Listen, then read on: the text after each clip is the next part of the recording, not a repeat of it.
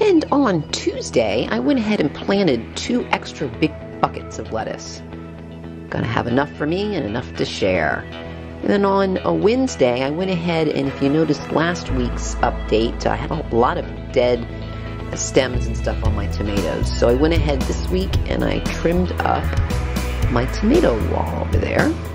And then on first day of spring, what I did was I went and I did actually move the old lemon balm from the power of tower, as I used to call it, and uh, planted that. And then I also went through and staked some of uh, my tomatoes that had been getting taller and needed a little support. And on the next day, I, uh, while I was out searching for toilet paper and such at Walmart, I came across a really, really, really nice strawberry plant. So I went ahead and got that and uh, planted that.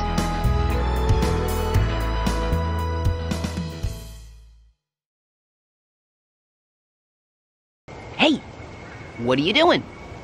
Stop writing about sleeping on Sunday and let's get out there and go do that garden update.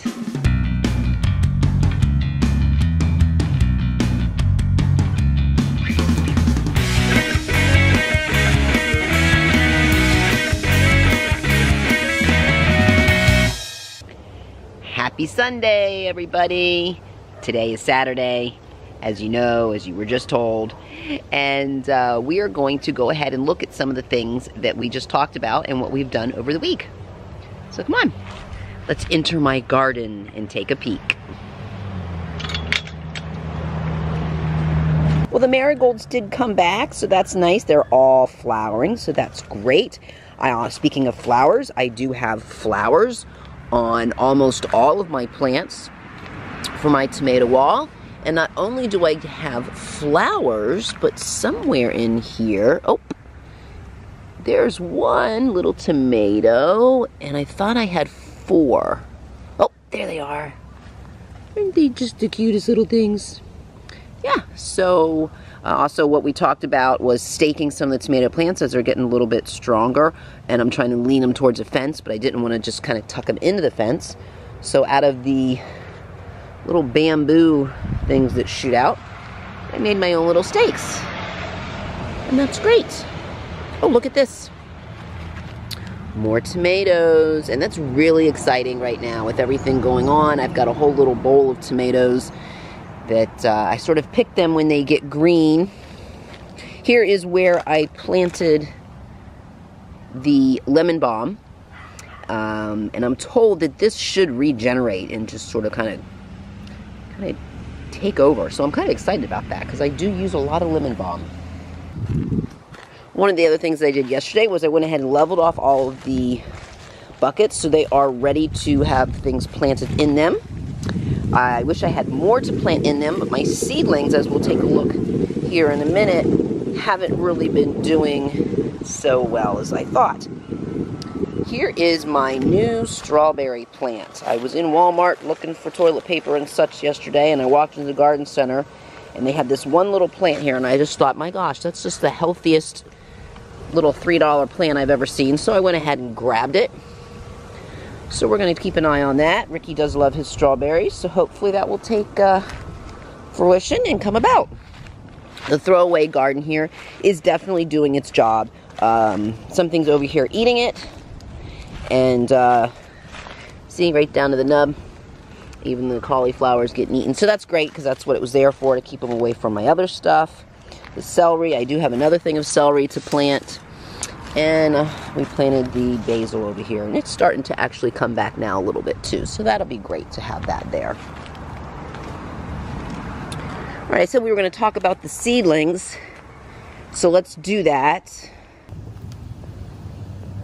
Right, so nothing was really happening with the seedlings. I did have this really strong pea seedling.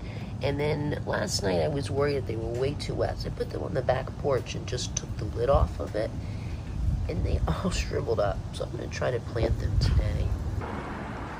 All right. Back to the lemon balm. The potato pot is empty. Carrots, I'm just going to let go as long as possible, not knowing what the carrot situation will be in the stores in a couple of weeks when we are in a week when we run out of the carrots that we have in the fridge. So we're going to let those sit. Again, this is one of the buckets that I planted the lettuce in, and I basically kind of planted it the same way that I planted my other bucket down there that we'll get to in a minute, and so I'm hoping to, it will be just as productive. And I will have some extra lettuce to share, which would be great. That's my kale.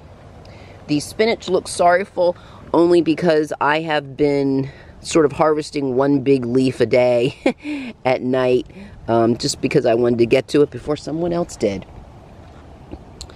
The peas are getting much, much taller, and uh, as you saw where those peas sort of sort of shriveled up that next day for whatever reason, I did go ahead and plant them down in here. So if they are going to sprout and come back, they will do so there. And we had planted onions over there in that section, but I don't really see much going on.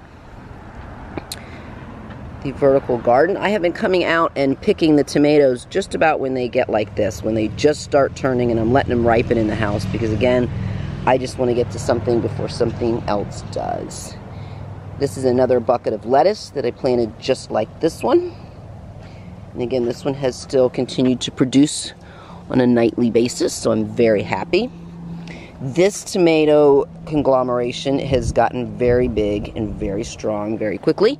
And there are lots of flowers. I thought there may be a few tomatoes in there. Yep, there they are right in the middle. So we'll keep an eye on those. And then this is exciting. This is, and look at this just came up overnight almost. A little flower from the pepper plant. And then there looks like there's two more that's getting ready to pop out. So we could keep that going for a little bit and see what happens I don't know whether I should pick this one yet. Every time I have a nice big Roma tomato in this exact same spot, right the day before I go to pick it, it disappears. So I keep pushing it every day, running out in the morning to see if it's still here. But this is also one of the things that I did was I went ahead and trimmed up, if you remember, all of this here was just completely dead. So I trimmed all that back, found all these tomatoes underneath there. So that's nice. So again, I'm just picking those as they get nice and big and plump. The beefsteak tomato plants have started to take off, and I don't know yet what to do with them. I kind of want to take them out of this bucket and separate them, but uh, I don't know where to put them yet. So we're going to work on that. So that's it for my garden update this week. I hope you enjoyed it. I hope you come back next week and we see how much more my garden has grown. We'll see you real soon.